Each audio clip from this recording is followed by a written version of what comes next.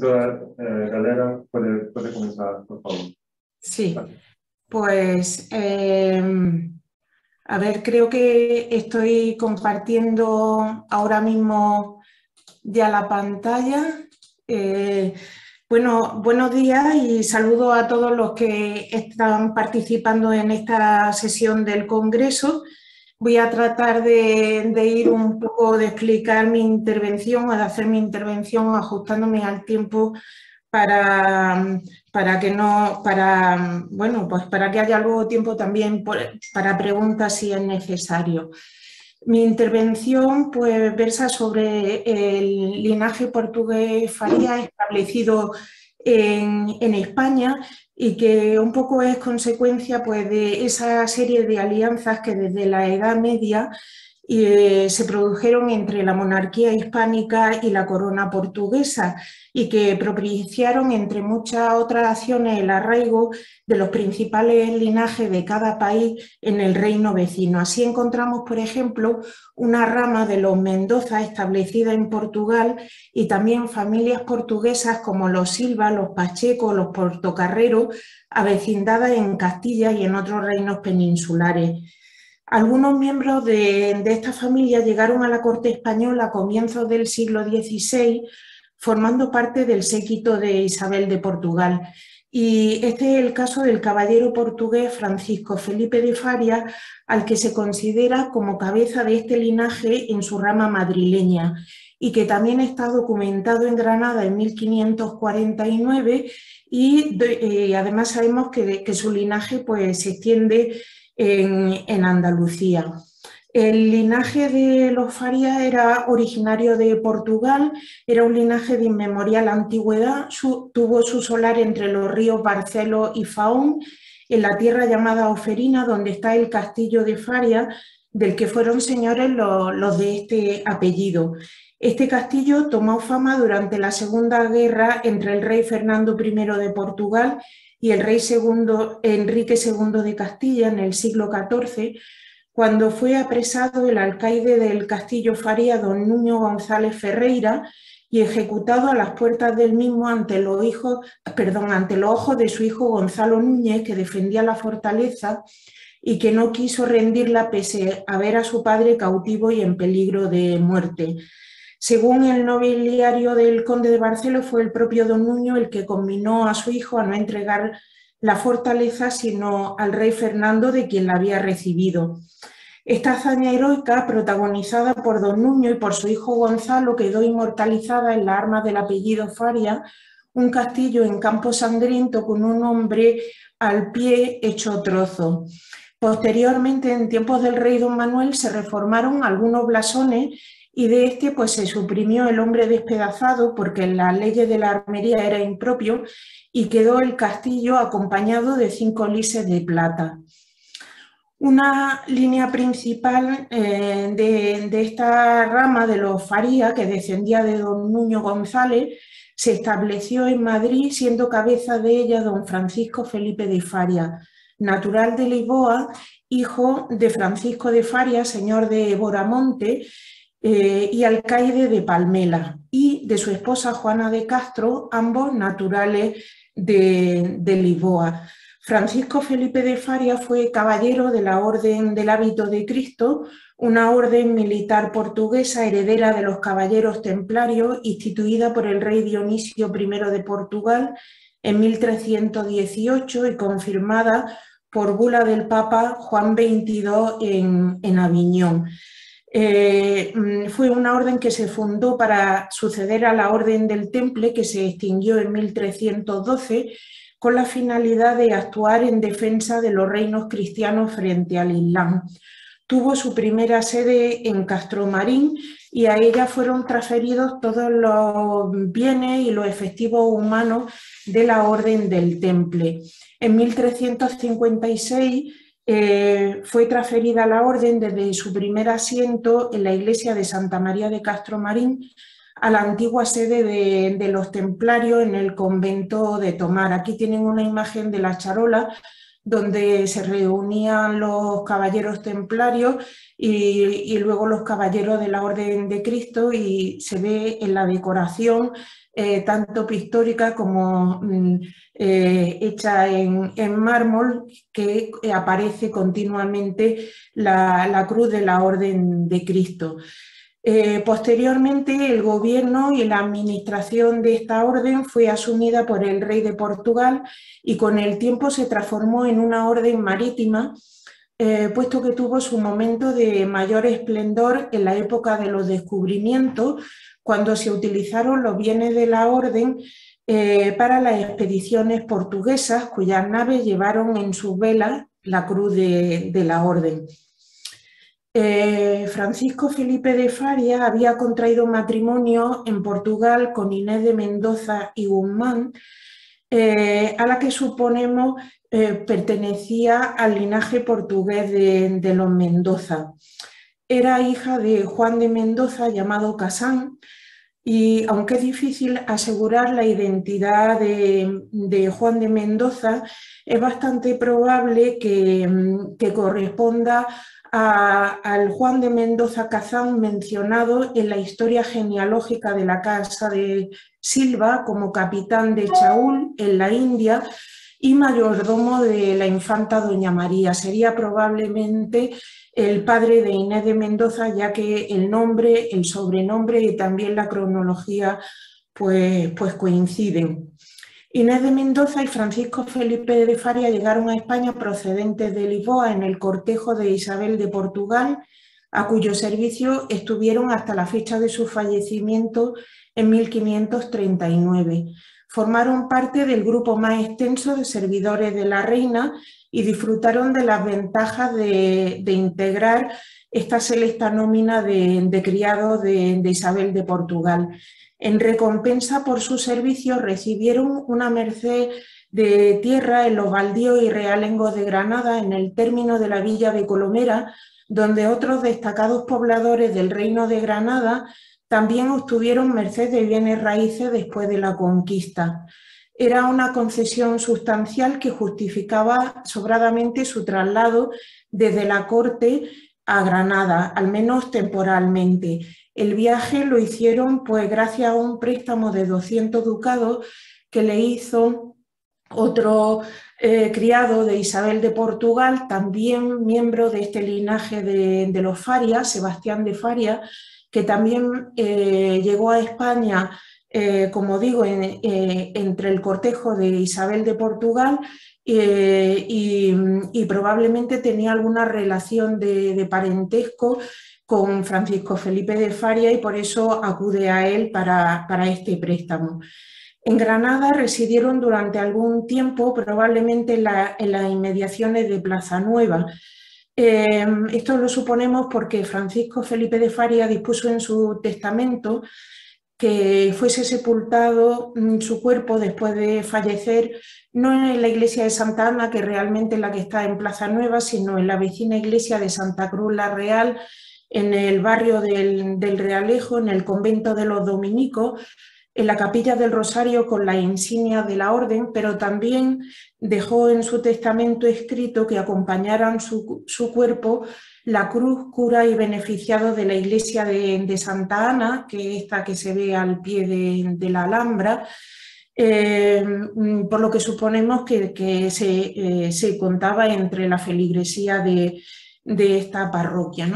Cuando Francisco Felipe hizo testamento, eh, su único hijo Juan aún era de corta edad y encomendó su educación a su esposa Inés de Mendoza a la que encargaba además que cuando su hijo cumpliera la edad de 12 años, completara esa formación en Lisboa, en la casa de, eh, de sus padres. Sin embargo, parece que después del fallecimiento de Francisco Felipe de Faria, la decisión de Inés de Mendoza fue la de permanecer en España. Juan de Faria se debió de formar en, España, fue conocido como el licenciado Juan de Faria,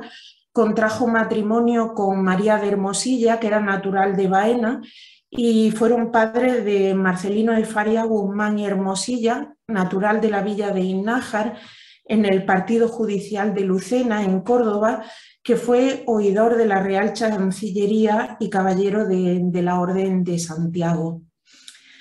Otro de, los miembros de este linaje Faria, venido de Portugal eh, a comienzos del siglo XVI, es Sebastián de Faria, que, fue repostero de estrado de, Isabel de Portugal. Eh, él contrajo matrimonio en España con Juana de Obregón y fueron padres de al menos dos hijos, Sebastián de Faria, que fue también aposentador del rey, y Luis de Faria, del que conocemos menos datos, eh, mm, solo tenemos algunas escasas noticias como propietario de una finca en las inmediaciones del Alcázar de, Madrid, que posteriormente vendió a Felipe II, como, como luego veremos. Sebastián de Faria, el hijo de Sebastián de Faria, eh, casó con María de Cáceres y a través de este matrimonio se estableció la vinculación de los Faria portugueses con la familia de los Vargas madrileños, que eran descendientes del famoso Iván Vargas, cuyas tierras cultivó San Isidro Labrador. Eh, puesto que María de Cáceres era hija de Pedro de Vargas y de Margarita de Cáceres y también su única heredera.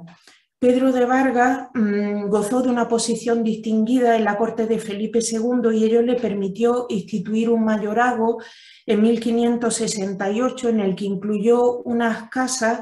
situadas en la calle del Espejo, en la parroquia de Santiago, cerca de, la Alcázar, eh, donde hasta época reciente se conservó el escudo de los Faria cuartelado con, con el de los Vargas.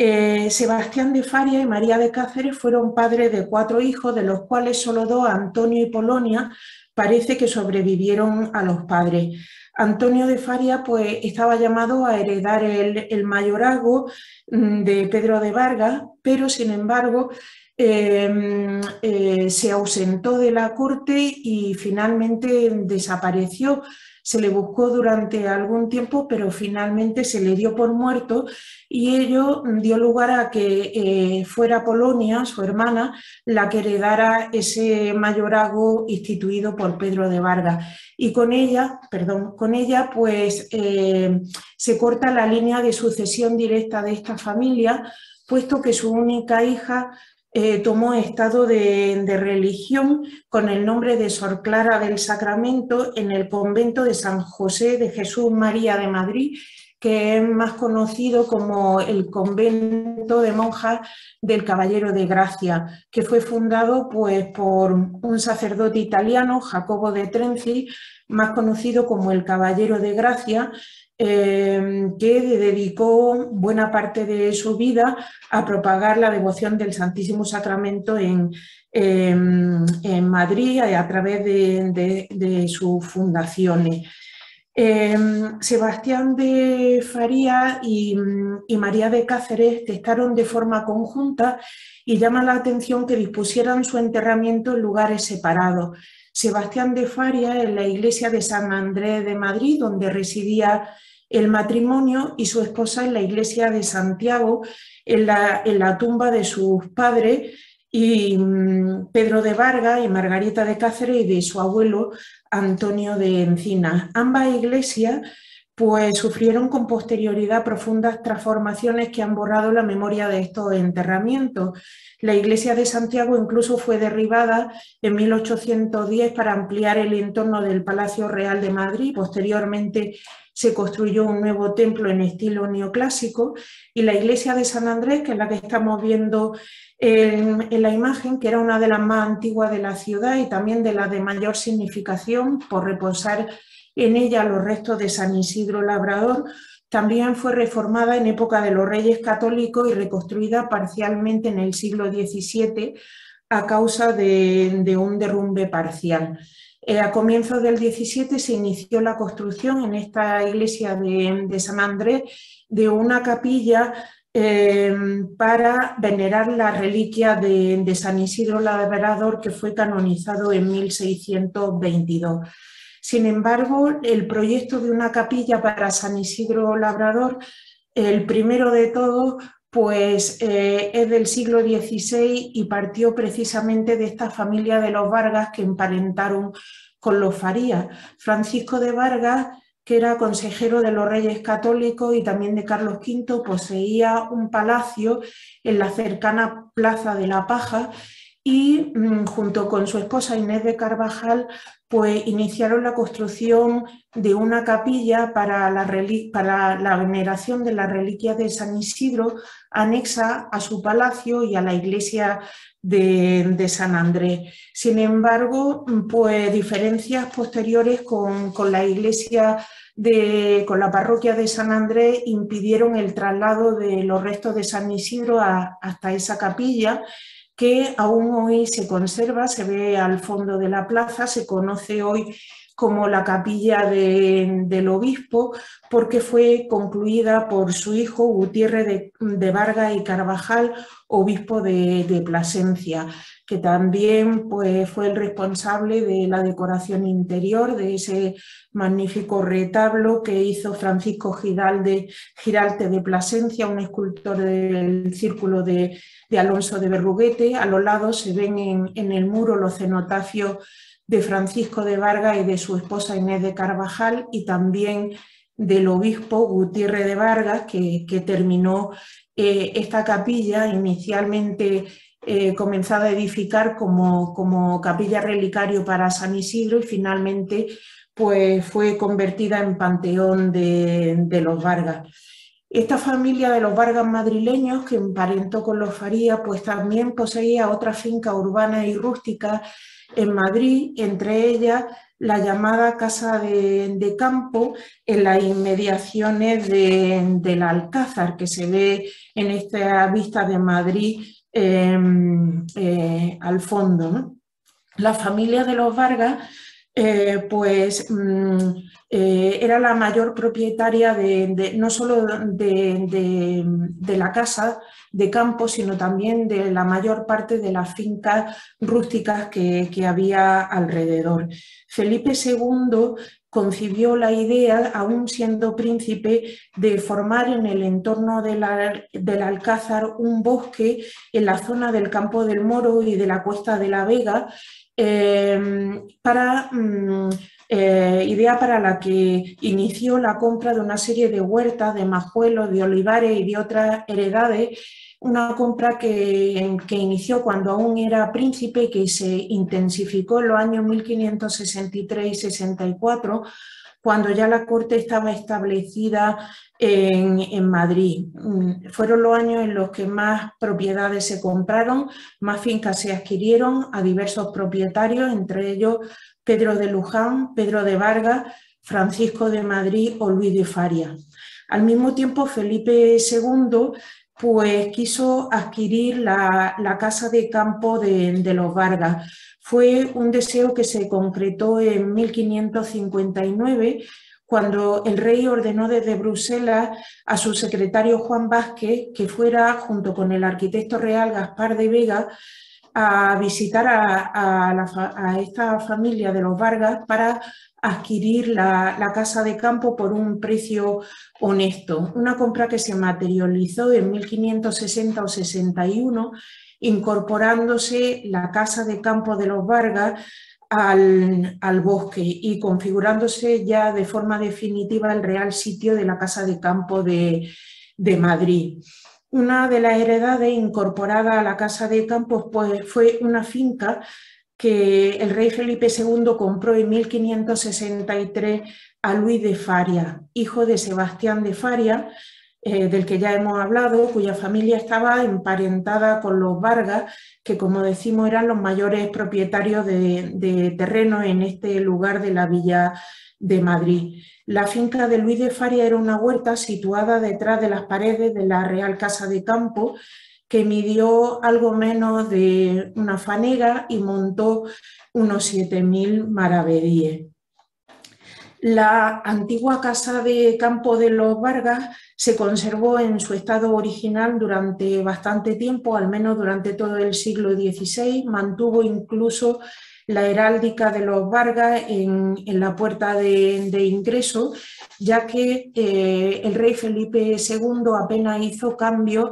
en, esta casa, por lo tanto la, que aparece reproducida en la pintura de Félix Castelo, que se conserva en el Museo municipal de Madrid realmente estaría reproduciendo el aspecto eh, que tenía la casa de campo de, los Vargas. Eh, porque como digo, no hizo Felipe II cambios en la casa, sus mayores actuaciones parece que fueron en los jardines y, en el bosque que, rodeaba la, casa de campo de los Vargas. Las mayores transformaciones en el inmueble se hicieron en los reinados de Felipe IV y de Carlos III, que fue cuando definitivamente cambió